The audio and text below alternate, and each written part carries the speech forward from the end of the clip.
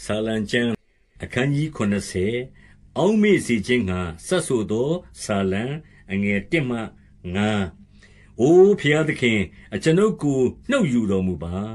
အိုထာဝရဖျားအကျွန်ုပ်ကိုမဆခြင်းငှာအလင်းအမြန်ပြုတော်မူပါအကျွန်ုပ်အသက်ကိုတတ်ခြင်းငှာရှာကြံသောသူတို့သည်အရှက်ကွဲ၍မျက်နာပြက်ကြပါစေသောအကျွန်ုပ်၌အန္တရာယ်ပြုကျင်သောသူတို့သည်လှန်ခြင်းကိုခံရ၍ ရှက်ကြောက်ခြင်းသို့ ရောက်ကြပါစေသော။အကျွန်ုပ်ကို အေ့ဟေ၊အေ့ဟေဟုဆိုသော သူတို့သည် အရှက်ခွဲခြင်းအားဖြင့် နောက်သို့လှန်ခြင်းကို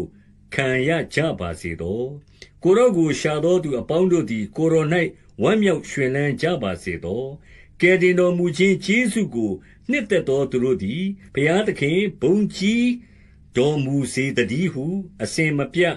ပြောကြပါစေသော။အကျွန်ုပ်မူကား ဆင်းရဲငတ်မွတ်ပါ၏။အိုဘုရားသခင်၊အကျွန်ုပ်ရှိရာသို့ အလျင်အမြန်ကြွတော်မူပါ။ကိုယ်တော်သည် အကျွန်ုပ်ကို မစသောသူ၊ကယ်တင်သောသူ ဖြစ်တော်မူ၏။အိုထာဝရဘုရား၊ဆိုင်းလင့်တော်မမူပါနှင့်။